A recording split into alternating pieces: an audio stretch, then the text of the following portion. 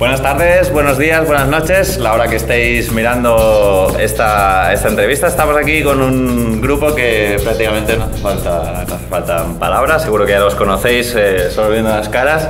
Nueve discos, eh, 17 años en, en, carrera, más de 1600 o, o quizá más, uh, más directos desde, desde Argentina, Colombia y Barcelona, creo que también. Eh, Chesudaka, bienvenidos. Gracias, gracias, muchas gracias. Un placer teneros aquí con, con, vosotros en nuestro primer programa. La verdad es que nos hace mucha ilusión que estéis aquí, los cuatro además. Eh, estamos muy contentos. ¿Cómo, explicaros un poco, ¿cómo, cómo os conocisteis? Eh, ¿Cómo fue esto? Bueno, la, la, la, todo el inicio viene de dos formaciones. Uh -huh. Una formación en Argentina que se llamaba Correcaminos, una banda de ska que vino de Mar del Plata, Argentina, a Barcelona, 2001. Y otra formación en Colombia, que se llamaba Dogma Sinaca, de la cual J y yo éramos parte, eh, que también llevábamos muchos años allá, en Bogotá, Colombia, y viajamos a Barcelona. Entonces las dos bandas empezaron como a, a buscarse la vida. Eh, el, la, el se disuelve, casi recién llegar, y entonces Leo empieza a, a, tocar la guitarra en la calle, en Barcelona. Y ese fue el comienzo, digamos, de, de Che Sudaka. Luego él arma una banda que le pone Che Sudaka de nombre. Y nosotros entramos en la película dos años después. Cuando estamos en el estudio, yo, yo era el técnico de sonido del estudio donde se estaba grabando el segundo disco de, de Che Sudaka, el Alerta uh -huh.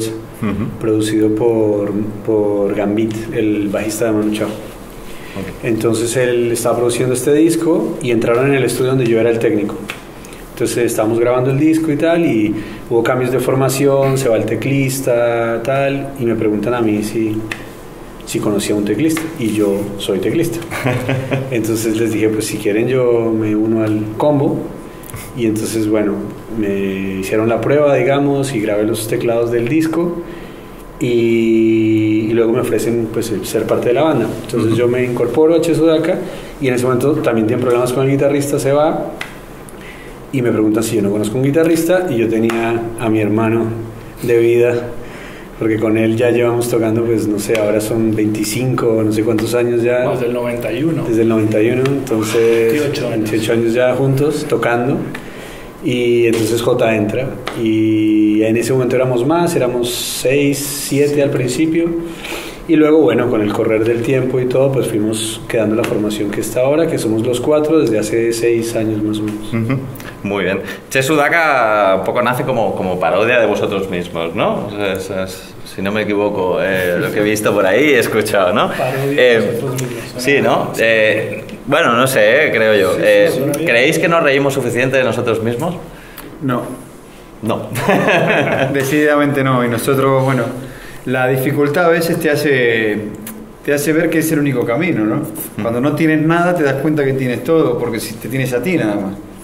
¿no? Y lo que, tú, lo que tú generes. Entonces tiene que ser un ente positivo en este planeta, si no, ¿para qué? No, no, depende, no depende de lo que tienes, sino de lo que realmente tienes, que es adentro, ¿no? Cierra los ojos y es lo único que tienes, lo que hay adentro. Entonces, si eso lo asumes, ya te da risa el hecho de decir estoy vivo y, y tengo una vida para llevar a cabo como, como yo quiera y ahí es donde Che Sudaca toma sentido, que Sudaca le dicen a los sudamericanos de manera despectiva, pues yo soy Sudaca, no pasa nada. Uh -huh. Entonces ya, eh, Sudaca, y yo te decía, si, si nos discriminan nos hacen publicidad gratuita, ¿no? Esa era la ironía. Entonces ya se generó un, un, mantra positivo con la palabra, ¿no? Y cambió un poco el significado. Ahora en el barrio, entre nosotros mismos, nos decimos Sudacas todos y somos felices, ¿no? O sea, ya, ya es una, una cosa, una, una, eh, una marca de, de identidad, un control de calidad. Los Sudaca ya somos ahí, estirpe Sudaca, ¿no? Sí, ¿no? Sí, sí, con mucha alegría. Bueno, está muy bien, está muy bien esto de reírse de uno mismo. Hay gente quizá que, que le cuesta, ¿no? Un poco a uno esto. Bueno, pero hay que, hay que intentar generar eso, ¿no? Hay que trabajarlo, ¿no? Claro, pero fíjate, cuando vas a un circo, un payaso te termina haciendo reír de ti mismo, ¿no? O sea, y te das cuenta que las cosas que está ironizando son las que te pasaron a ti, por eso te ríes. Claro. ¿No? Si no, no te ríes. Exacto. Y aquí no le pasan esas cosas. La vida es así, la vida es divertida. Vaya que es que saber verlo nada más. ¿no? Sí, sí, sí, toda razón, toda razón, exacto. Bueno, eh, rumba, rumba, cumbia, ska, reggae, eh, punk. Tiene eh, que, tiene que hablar podemos- el melómano del grupo. Porque yo no conozco una persona que haya escuchado más música que Sí. Cacha, ya te lo digo. Pues, pues, Cacha, entonces, ¿podríamos hablar de, de pachanga moderna? Pues ¿Por, mira, por qué, ¿Por qué elegisteis este estilo, no? Bueno, eh, básicamente, por ejemplo, te puedo hablar eh, estilo por estilo de los que tocamos. Nosotros manejamos hoy día con cuatro o cinco estilos más, ¿no? O sea, el folclore colombiano, latinoamericano, mezclado con ska, eh, y bueno, un poco de raga, un poco de reggae y rumba en algún Ujú. aspecto, rumba callejera, porque es rumba pelada, o sea, quedamos, por momento en el concierto quedamos guitarra sola haciendo rumba, ¿no? O sea, que es rumba callejera directamente. Eh, por ejemplo, el, el caso del ska yo creo que se mantiene porque es una cosa que, por decirte, yo escucho muy pequeño, Leo también, ellos, ellos lo escucharon de más. No, yo lo escuché cuando entré en Chesuaga, yo nunca había escuchado ska ni Ajá, reggae. Claro, ¿no?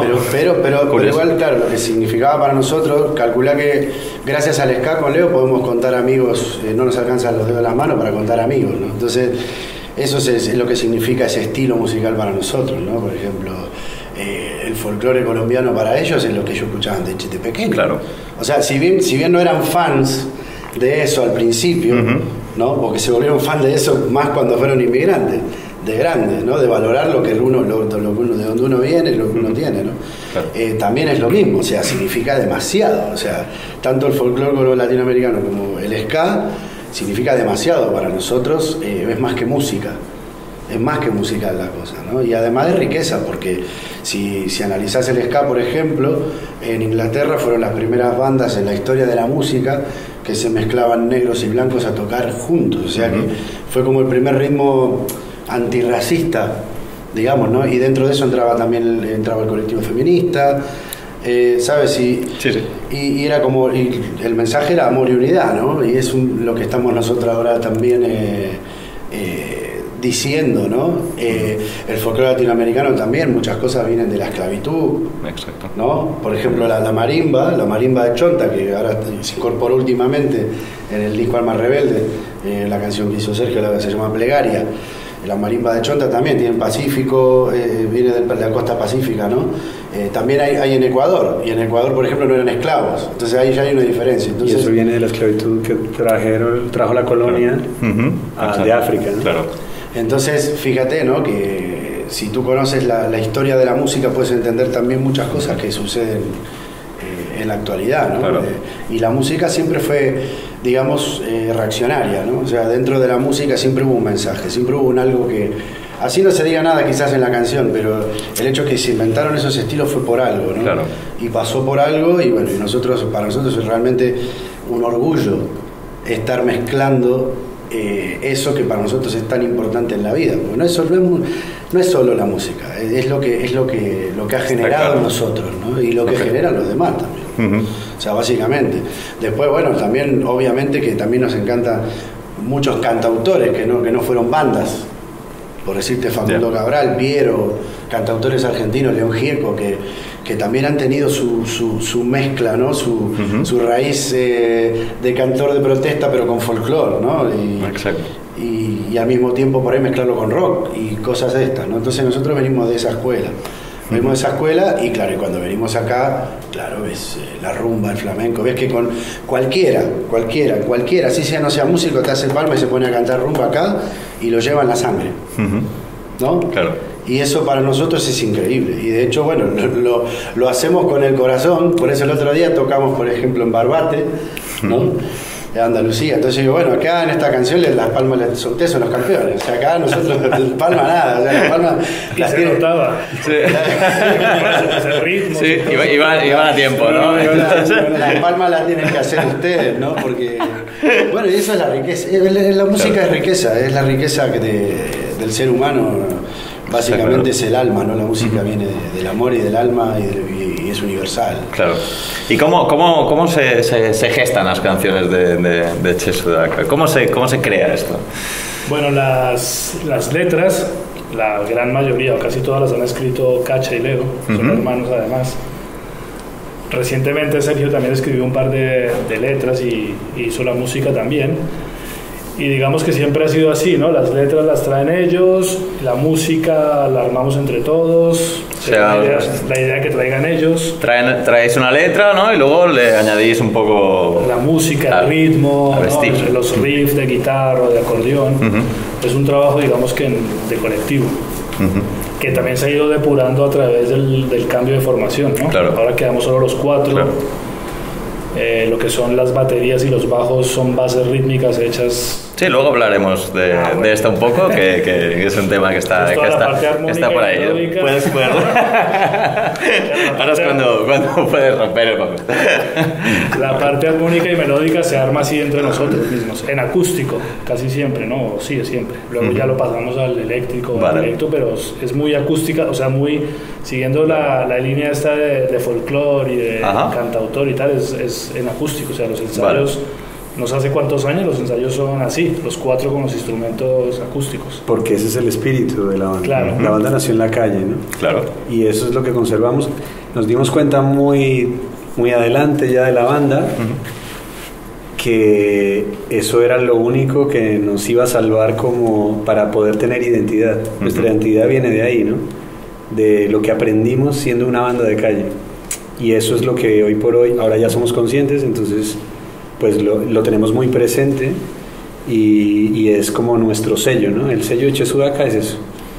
No, y de hecho lo tenemos tan presente que nos relaja. Es decir, el fin de semana estuvimos tocando en Nuremberg, en Alemania, en una plaza de 10.000 personas.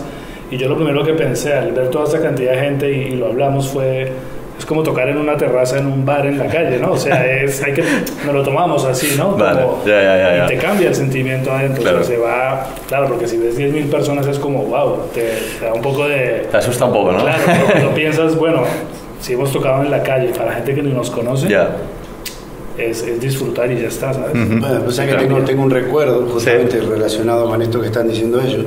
Un recuerdo que a mí me marcó para siempre. y Cada vez que subo a un escenario me acuerdo de eso. Por eso nosotros nunca, nunca, nunca pensamos si hay poca o mucha gente. Nosotros tenemos que salir a hacer conciertos bien, siempre. Y ser felices ahí arriba. Si nosotros estamos felices ahí va a funcionar. Si nosotros no estamos felices ahí, no va a funcionar. O va a funcionar así. Entonces, o sea, lo hemos aprendido en la carretera. Pero el recuerdo que tengo es que cuando justo cuando en la época que entraron ellos al grupo, estábamos trabajando muchísimo en los ensayos con una banda de rock con gambit y, pa, y ocho horas por día y sin feriado y durante mucho tiempo, muchísimo trabajo, tal, tal, tal, y no había conciertos. O sea, después estábamos, íbamos a tocar a la calle. Entonces no había bolos, no había conciertos. Entonces no teníamos todavía el, el, ¿cómo se dice? el entrenamiento de, de tocar con gente, ¿no? con ese nuevo formato. Entonces era, era mirar la pared, imaginar la gente en la pared y hablarle a la pared como si fuera gente. ¿sabes? Sí, sí, sí, sí. O sea, abríamos las partes igual, todo como si hubiese gente, pero no había gente. Entonces era hablar una pared, eso, eso, si yo te lo cuento, es muy duro. Pero, pero en el momento era, era tan bonito la ilusión de imaginarte tanta gente en una pared. Claro. Que hoy en día vas a un concierto y hay cuatro, y son cuatro. Es mejor que una pared. Uno es mejor que una pared. Por supuesto. Entonces, claro, entonces, por eso mismo, ¿no? O sea, más que también con tantos conciertos que hemos hecho con Che Sudaca, claro, te toca alguna vez que tocas para 70.000, para 50.000, para 20.000, para 10.000 y para 20. Sí, aleatoriamente, depende del país que estés, ¿no? Sí, sí. Y entonces, claro, y, y ese, ese espíritu no, no se pierde, no se pierde nunca. Ese espíritu se pierde nunca. Así sea Leo tocando solo una guitarra en un bar, es lo mismo. O yo pinchando, Sergio tocando con el guitarra, es lo mismo. Es el mismo concepto siempre, ¿no? Bueno. De que hay que, que darlo, dar, dar lo, lo más bonito de tu ser siempre, ¿no? Claro que sí, eso, eso siempre, por supuesto. He visto por ahí, corregidme si me equivoco, una gira del 2007 autofinanciada. ¿Es correcto? eso? Una sola. Bueno, correcto. No, no. Die- no, 17, no, 17 años llevamos autofinanciados, Es correcto, compadre. es correcto. La de 2007 también. también, ¿no? Es una más, ¿no? Una O sea, a ver, Todas. aquí- Todas. Desde el día cero, aquí no ha habido dinero de nadie que no sea Muy bien, nuestro. muy bien. O sea, So- Somos Bueno. una banda independiente. Somos independientes. Desde el minuto cero hemos colaborado sí con discográficas independientes, total, que, que han sellado algunos discos. Sí, pero no han puesto dinero para una gira. O eso. Nada, Bueno, eso lo aquí- hemos- Bueno, eso, te da como cierta libertad, ¿no? Entiendo, para elegir dónde y cuándo queréis No, ir. no, pero no es una cuestión de elección esto. O sea, esto es, eh, somos obreros de la música y, a ver, te levantas a trabajar, sale trabajo, si no sale te lo inventas. Claro, porque, a ver, desde que pisamos Barcelona no trabajamos de otra cosa y sin papeles, o sea, hemos pasado por muchas situaciones y siempre hemos tenido claro que nuestro oficio es la música. Y Che Sudaca, ¿no? Porque no es que hacemos otras cosas, trabajamos solo con Che Sudaca, lo que es un verdadero milagro, porque y, y un poco una utopía. Sí, tal como está. No, tal como está, no, siempre fue igual. Yo no conozco músicos que trabajen de un solo proyecto de manera independiente, no los conozco, seguro que hay. Pero nosotros sin darnos cuenta nos encontramos ahora 17 años después diciendo, eh, pero de verdad nosotros trabajamos solo Che Sudaca, qué iluso que somos, ¿no? Pero rico no es el que más tiene, sino el que menos necesita, dicen por ahí. También aprendimos a vivir una vida muy austera que se nutre de estar haciendo lo que nos gusta, sobre todo, ¿no? Porque si no, no sale a cuenta. Son demasiadas horas, demasiado sacrificio, demasiado tiempo fuera de casa, que tenemos unas familias que son alucinantes, que son parte de, de esto también. Nuestro manager, que es un capo, el rock, que solo trabaja con nosotros, ¿no? Vale, eso también es un, claro. un- un gran qué. Y entonces todo eso hace que nos creamos la historia, ¿no? O sea, y a veces eh, sale un poquito mejor, otras veces un poquito menos, pero siempre nos vamos contentos a casa. Y el día que así no sea hay que dejarlo porque seríamos totalmente idiotas y Ya. seguimos haciendo algo que no nos gusta. De momento no ha fallado ni un día esto, incluido hoy que estamos felices de Y estar que aquí. siga aquí. Claro que siga que así. sí, por supuesto, ¿no? Y ahora bien. rompemos las preguntas. He visto... No, no, seguimos. sí. Tienes muchas ganas de romper el papel, ¿eh? Déjaselo romper al final Sí, para que se quite el mono. Ahora, toca, este, la, poner el ejemplo que lo había hecho Pepe Rubiales. Sí, sí, exacto. A Pepe Rubiales le, dice, le dedicamos la canción de la risa bonita en el disco Tuvo Posible. Cierto. Está, está dedique- una mención dedicada a Pepe Rubiales que justo había fallecido. Claro, sí, fue por las, por las, por las épocas, ¿no? Sí, sí, sí, sí, es verdad, es verdad, correcto. Y cambiando de tema, y antes de que rompas el, el papel, ¿qué, qué pasó esto con la batería y el bajo? Porque antes sí que llevabais formación, ¿no? Formación de, de rock, ¿no? Entre comillas. Clásica. Batería, bajo, guitarra. y tal. Pero empezamos sin nada. Eso sí, eso sí. Entonces, partiendo de esa base, todo el resto sobraba, Ujú. ¿no? Y ahora sigue, sigue habiendo más de lo que había el primer día. Sí, sí. Entonces, para nosotros no fue un problema. El problema era mental y las barreras que uno se autoimpone de decir esto tiene que ser así. Bueno, las cosas son como son, hay que aceptar las cosas como son y hacerlo.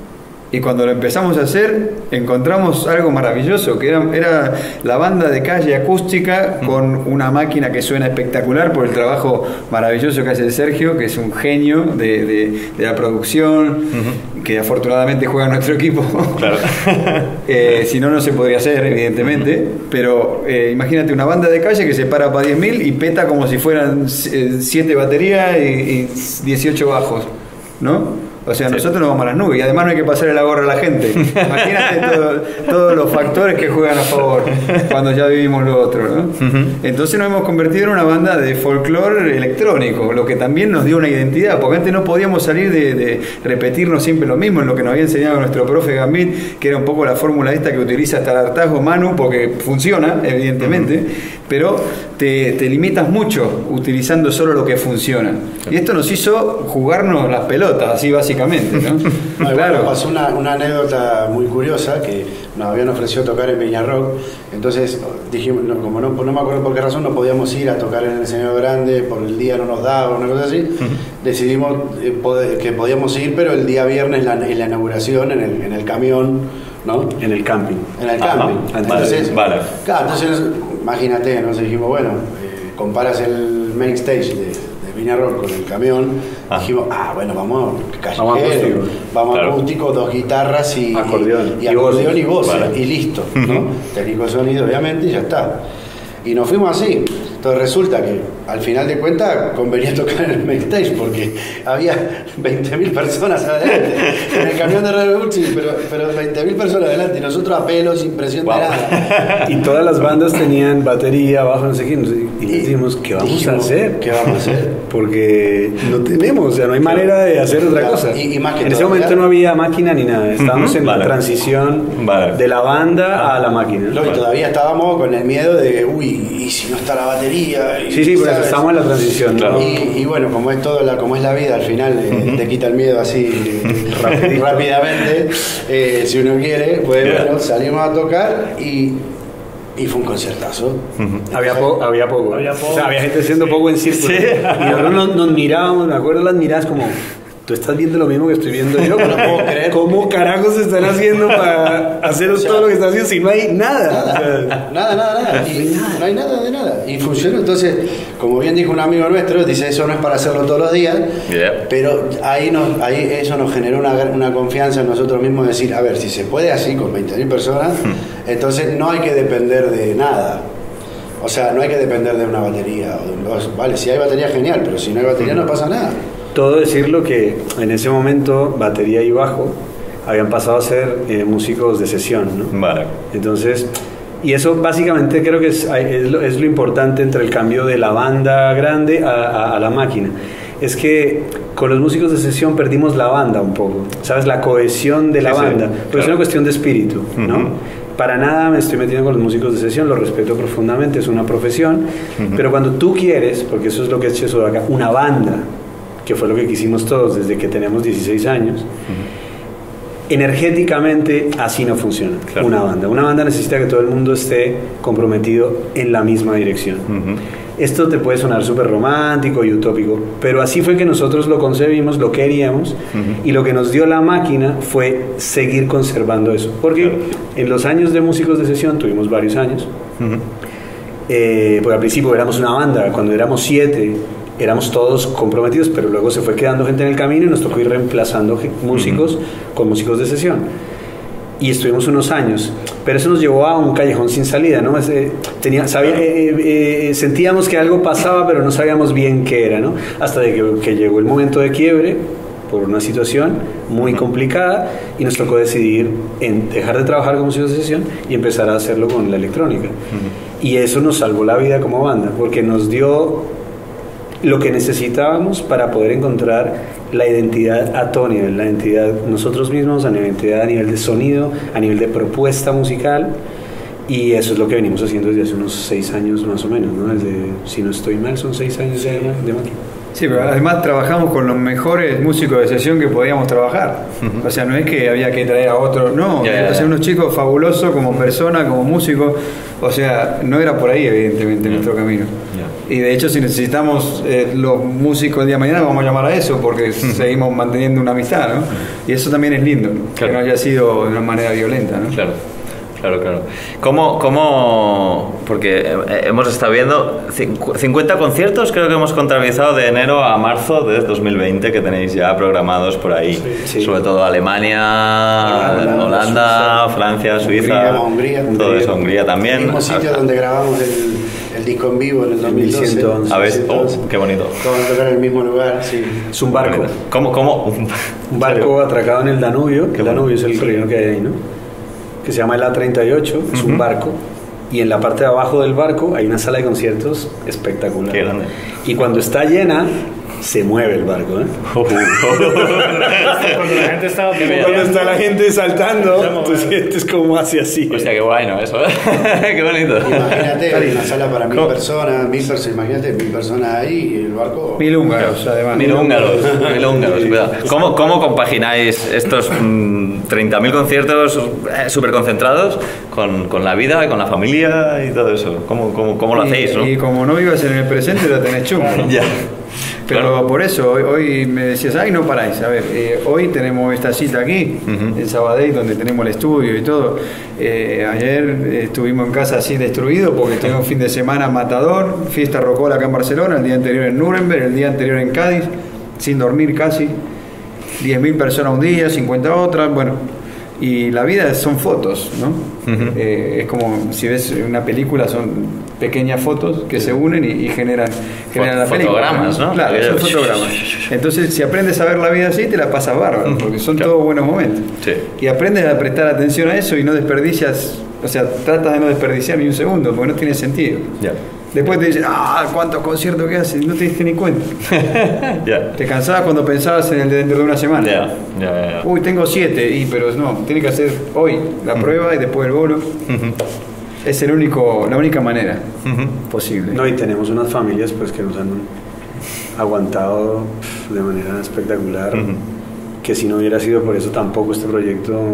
Porque esas son las cosas, ¿no? Cuando tienes. Es que como Chesudaca es una familia en sí, pues todo se convierte en una familia. No es, no es solo la familia esta de, de mi mujer, mis hijos y tal, sino ya todo hace parte de lo mismo, ¿no? Para poder tirar el carro tantos años. Cuando tienes ese soporte, pues se puede hacer lo que ha hecho Chesudaca en 17 años. Si no hubiera sido por eso, es imposible.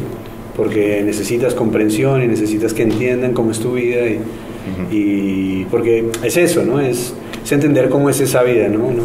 No es ni más ni menos, ni mejor ni peor que otra cosa, sencillamente es una manera de vivir que si la entiende la gente que está contigo, pues lo puedes llevar a cabo durante muchos años. Bueno, nos costó entenderlo, pero por ejemplo, eso que dice Sergio nos premia cada año en agosto, que tenemos un músico más en el escenario que es el hijo de Sergio cuando viene con Ah. nosotros. Bueno. ¿No? O sea, viene, se sube al escenario y levanta a la gente, imagínate, sale él y, y- y sale una luz y parece que hubiera siete músicos más. cuando Qué bueno. Nico. Muy bien. La familia, la familia Sí, es el poder. sí, sí, está claro. Tenemos que ir terminando ya porque se nos acaba el tiempo, creo. Y nada, para terminar, eh, no sé, una anécdota que, que os venga a la cabeza así divertida. Hasta que lo pudo hacer, hasta que lo pudo hacer. Buena, buena. Pepe Rubiales. Pepe Rubiales, sí, sí, sí. Grande, Bueno, ahí grande. tienes la grande. anécdota. Sí, no, me sirve, me, me sirve, me sirve. Ahí está la anécdota. Es buena, es buena. Bueno, programa y mira. es muchas gracias. tenemos muchas, pero no sé si son aptas para todo público. Bueno, una, una que tengáis apta más o menos y rapidita. Marilyn Manson, Marilyn Manson. Marilyn Manson. Es lo mismo de la terraza. Bueno, justamente estábamos tocando en Bretaña en un festival y antes de nosotros tocó Marilyn Manson, que había 30 mil, 40 mil. Y antes había tocado Status Quo, Placebo, Siggy Marley, o sea... Y salimos al escenario y había eso, 40 mil personas y dijimos, bueno, hagamos de cuenta que es una terracita porque veníamos de tocar... No, yo me preocupé, ¿eh? O sea, yo me paré porque era el, Cruz escen- Bernard, ¿no? era el escenario de, de, de Marilyn Manson No, y tocar en la calle el día anterior. Veníamos de tocar en la calle. No, y el nuestro estaba al lado, ¿no? Entonces yo me paro y digo, ¿qué vamos a hacer ahora? Porque este man es muy famoso, Y ¿no? teníamos banda con batería. Sí, con todo. y el y- público era el de, pues 50.000 personas que estaban con él, que iban a venir ahora a vernos a nosotros. Entonces, Y bueno, en ese momento hacíamos calle también y. Entonces se me acerca el Leo y me dice, ¿qué? Preocupado. Le digo, ¿qué te parece? ¿Qué vamos a hacer ahora? ¿Que no vamos a disfrazar? Este man es re famoso y nosotros aquí haciendo chunga chunga, o sea, baila. Y me dice, linda terracita, ¿no? Y ahí me, me, me, me cable a tierra, ¿sabes? Rico. Y- Está en. YouTube, está en YouTube. Eso fue Sí. en Francia, en Movital. Lo- lo miraremos, En pues. Movital 2008.